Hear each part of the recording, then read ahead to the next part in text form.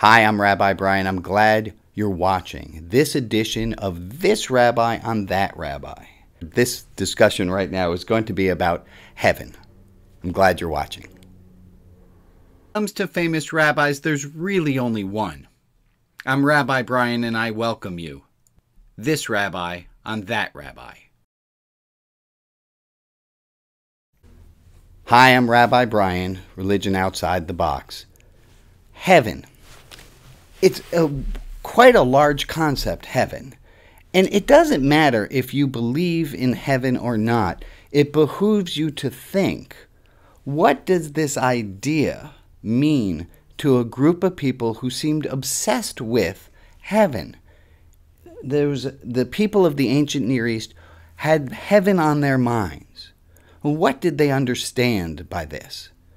And then, what can we use the idea of heaven to mean in our lives. Let's start with the ancient Near East. The etiology of heaven.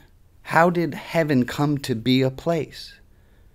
In the beginning books of the Bible, there was just there was the earth, there was water below and water above, the firmaments above. How did the firmaments above become a destination? It became a place called heaven where the good would be rewarded and the wicked punished. Is this even what Jesus and his contemporaries were thinking about? Well, let's look at it for a moment. Heaven as a location where God's justice would be meted out doesn't is not required earlier in books of the Bible. God didn't have this no, the the reputation of being everywhere and all good. Well, once those ideas were firmly in everyone's mind, then we have a problem of theodicy, of how do bad things happen to good people? And how can the how will the good people get rewarded? When will they get their turn? Heaven probably came up around the time of the Maccabees, this idea of a life after death where God would be rewarding and punishing. The Maccabees suffered so many martyrs, so many people who died for the cause of what was right, and how could that make any sense?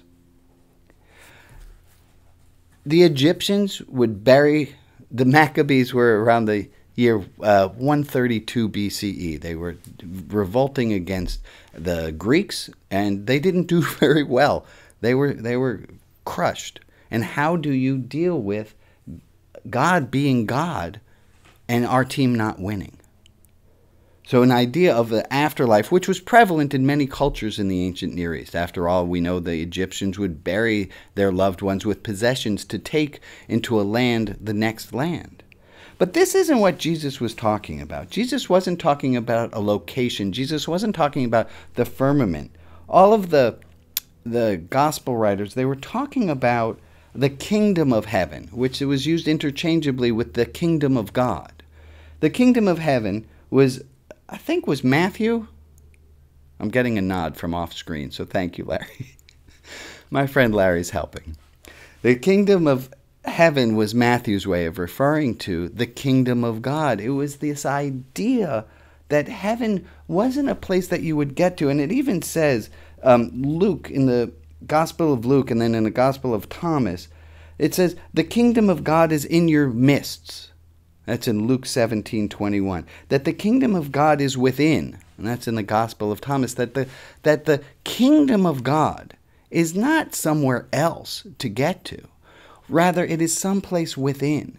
And if we have that mystical experience, if we see that the kingdom is within, in, in other religious language, if we are born of spirit, if we are born again, if we have a mystical experience, then we will be in the kingdom of heaven.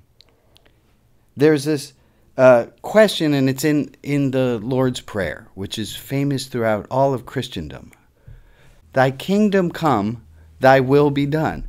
Thy kingdom come, thy will be done. And it's a question and answer. Thy kingdom come, when is thy kingdom coming? It's when your will is being done. And when is that will being done?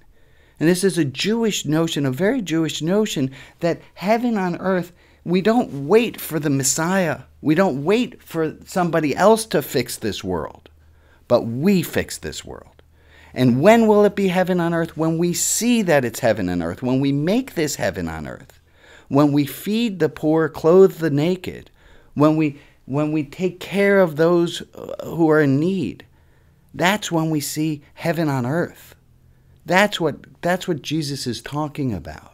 That's this notion in the Bible, this notion of of feeling peacefulness, of feeling salvation in the sense that we feel a salve, we feel calmed. That's the heaven that we're going for.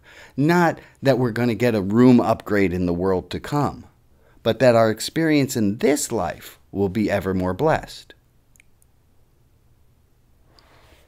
Next episode of This Rabbi on this, That Rabbi, we'll talk about the Bible. I thank you again for watching. I'm Rabbi Brian. Next episode The Bible.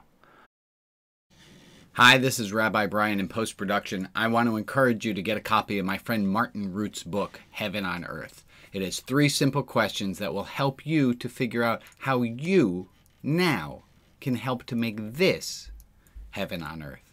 It's a beautiful read. I love Martin, and I'm sure you'll love his book. While you're here, search on over to rotb.org. Find out about newsletters, podcasts, and more. There's also the Spiritual Fitness Self Assessment, a very simple test you can take to see how spiritually fit you are. Thank you so much. I'm Rabbi Brian.